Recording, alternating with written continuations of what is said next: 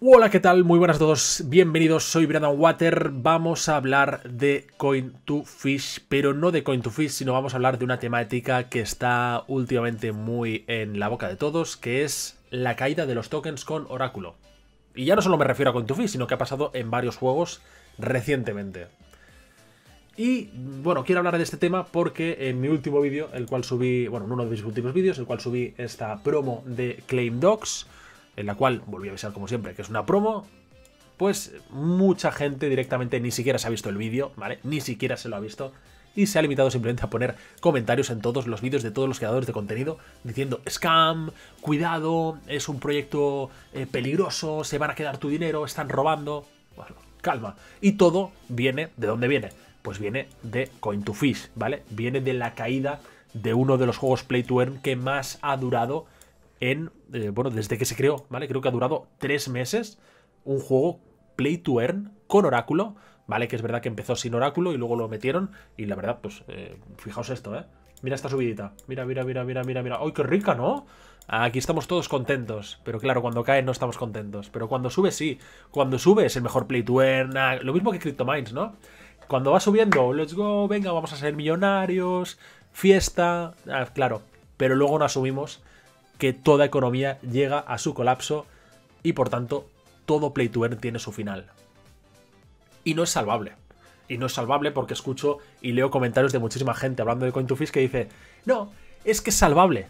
Hay que salvar Coin2Fish, los devs tienen que salvarlo. ¿Cómo lo salvas? ¿Cómo? Dame una opción de salvar Coin2Fish que no sea que los devs mismos metan dinero. Ahora, claro, ¿los devs van a meter dinero? ¿Tú crees que lo van a hacer si en CryptoMine incluso lo han hecho y encima han salido perdiendo todavía más y encima se los querían amenazar y cargar y todo? ¿Tú te crees que van a meter dinero los de Coin2Fish? No, coño, se llevan las manos y se van. Porque no van a meter dinero, porque tú no lo harías. Tú si sacaras un juego que ha dado beneficio durante dos meses y medio largos y mucho beneficio, que conozco gente que entró aquí con 100 eh, eh, dólares y se ha llevado miles de dólares. Entonces, claro, ¿Qué pasa? Pues que si has entrado en este punto, si has entrado al final de la etapa de Coin2Fish, es porque no has mirado nada. No has mirado absolutamente nada, ni siquiera has investigado el proyecto, ni siquiera te has planteado pensar, oye, ¿por qué está cayendo aquí la moneda? ¿Cuánto tiempo lleva este juego? Ah, ¿lleva dos meses? ¿Qué está haciendo la gente? ¿Cuántas, ¿Cuántos peces tiene? Porque hay gente que tiene 100 peces, 60 peces, 50, porque se han dedicado a reinvertir constantemente el token, colapsando finalmente la economía.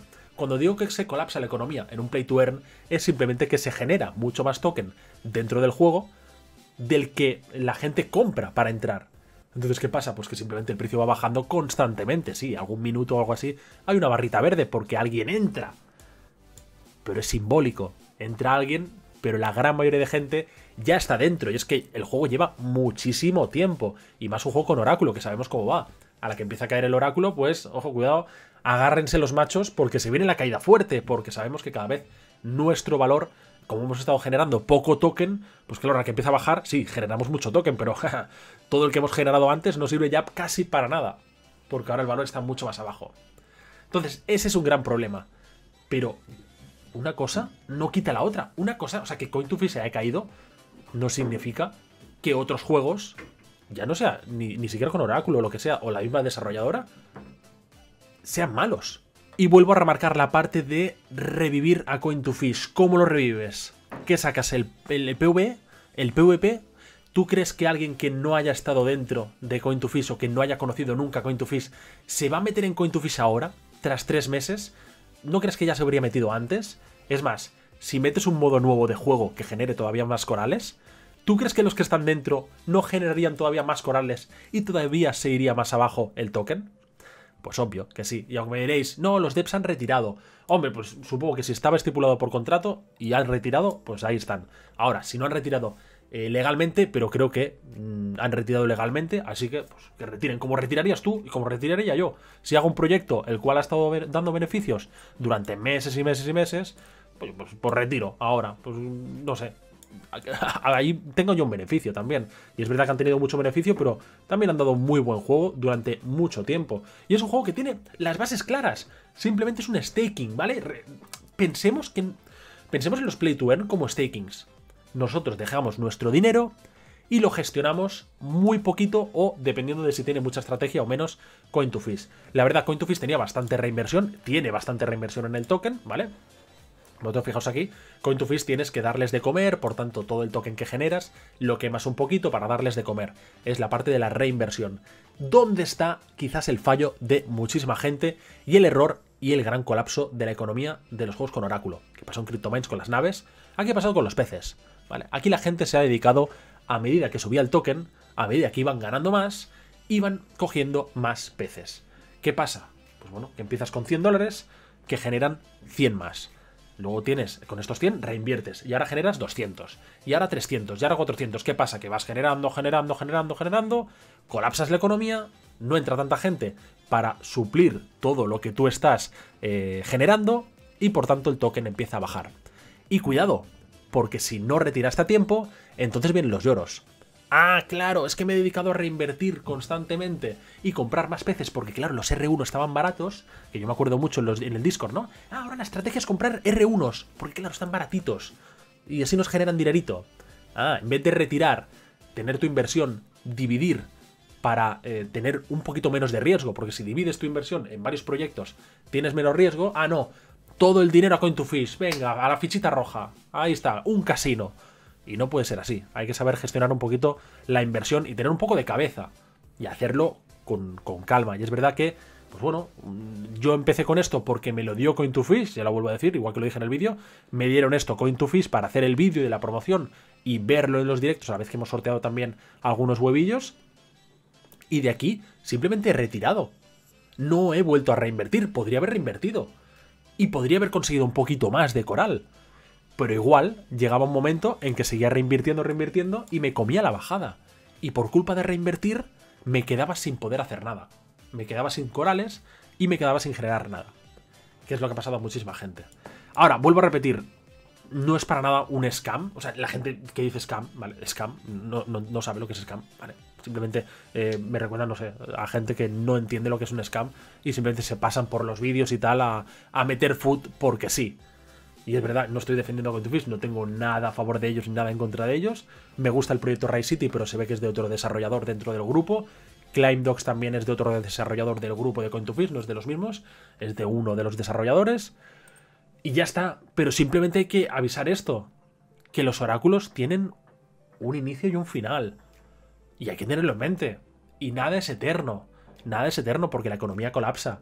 Y hasta en el momento, como siempre digo, que no entre dinero de otra fuente que no sea tú mismo, o sea, en el momento en que no sea rollo piramidal, ¿vale? En el momento que no necesitamos que entre más gente para que sigan ganando beneficios, ese momento los play to earn explotarán. Pero ahí ya entran las marcas, etc. Pero ese momento no ha llegado. Es que pasa lo mismo, es que el SLP le pasa exactamente lo mismo. Y me canso, me canso de leer tantos comentarios del SLP pero un montón. Y todos los comentarios dicen siempre lo mismo. A ver cuándo... Sí, ¿no? Es que me imagino al típico, escribiendo en Twitter, con los brazos así, bueno, a ver cuándo sube el SLP. Mirando la gráfica, con 3.000 SLPs, 4.000, 5.000 SLPs, mirando la gráfica, a ver cuándo sube, ¿no? El SLP. Que sube por magia. Que es, que es magia, sube. Las cosas suben solas. ¿No? o sea, cuando, tenemos una inversión, la inversión, eh, no sé, el, valor de lo que tenemos sube por arte de magia, ¿no? Estamos esperando sentados en el sofá que suba porque sí. Que otro meta el dinero por nosotros. Si quieres que suba algo, mete el dinero, invierte, quema token, bridea, haz cosas. Ah, que no lo haces. Ah, muy bien, ¿no? Un poco hipócrita, ¿no? Esperas que el resto pague lo que tú vas a retirar. Genera un poco por el juego. ¿Ah? Y el SLP no va a subir porque sí. Y lo mismo pasa con el SLP, que pasa con el Y de Wanaka Farm, que pasa con el coral de Coin2Fish, que pasa con todos los tokens que están en caída. ¿Qué pasa? ¿Qué quieres? ¿Que venga otra gente? Para que el valor suba y tú puedas retirar. Un poco feo decirlo así, pero es así, ¿no? Estás sentadito en el sofá esperando a poder retirar. ¿Por qué no retiras ahora? ¿Por qué no te creas una beca?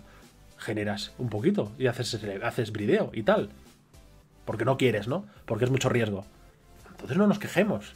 Bueno, y tampoco quiero calentarme muchísimo, es simplemente Este comentario, a ver, en verdad sí que me he calentado un poco, no quiero que vaya hacia nadie en concreto, simplemente es para la multitud que se dedica solamente a decir, pues que además han amenazado de muerte a los de Coin to Fish, a los de...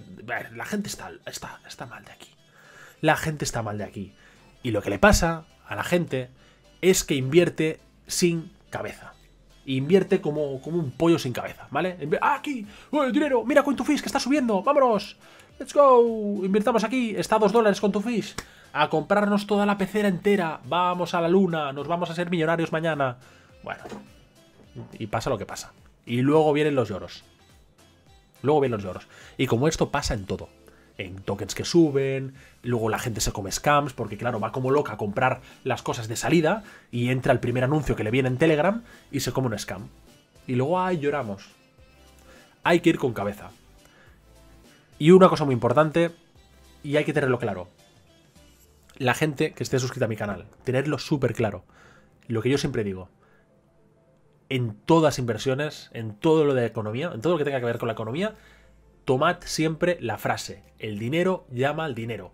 Si tú no tienes dinero, no vas a ganar dinero. Ganarás poquito. Pero si no tienes dinero, no vas a no vas a ser millonario de la noche a la mañana. Sí, le puede pasar a tu primo por suerte compró Shiba en 2013. Yo qué sé, cuando salió, no tengo ni idea. Pero va a pasar a una persona de un millón. No le va a pasar a todo el mundo. Hay que invertir con cabeza. Y si tienes un 10% de ganancias, si puedes sacar de aquí, de Coin2Fish, mira, pues recupero inversión y dejo aquí mis peces en staking y me van generando 50 dólares al mes. Confórmate, saca esos 50, invierte en otro sitio, abre un abanico, no hagas todo a la ficha roja no todo un mismo proyecto, porque si no va a pasar que ese proyecto va a colapsar, se va a ir a pique y la vas a cagar. Y encima, eso sí, más importante, si encima estás usando dinero que lo necesitas para subsistir, encima viene cuando luego entras a llorar, a cagarte en la madre de no sé quién, a decir que es un scam, que te han robado, cuando en verdad el juego lleva meses y meses funcionando y dando muchísimo dinero a mucha gente. Ha pasado, pues que al final la economía colapsa, la gente tiene muchos peces, se genera mucho token, no entra gente para eh, subsanar esto y ya está. Y se cae. Y es un oráculo y ya sabes que el oráculo, pues, lo he dicho antes. Contra más cae, pues, pues es peor y sigue retirando y sigue retirando. Y esto no parará hasta que eh, se acabe de aquí la liquidez, ¿vale? Y aquí cuando ponga 0 o ponga X, se acabará, ¿vale? Y entonces, pues, pues nada, pues adiós con tu fish y vamos al siguiente proyecto. Y hay que asumirlo y a siguiente inversión. Espero que os haya gustado el vídeo, bellos. No os lo toméis muy mal. Simplemente es un comentario en general porque la verdad estoy bastante quemado de escuchar comentarios del SLP, comentarios de esto, que la gente parece, no sé, que parece que todo vaya por arte de magia. Y nada aquí es magia. Todos son inversiones y hay que tomárselas con cabeza. Siempre con estrategia. Hay que hacer una estrategia y entrar en los proyectos con una estrategia. No podemos ir a lo loco. Espero que os haya gustado, bellos, y nos vemos en el siguiente vídeo. Chao.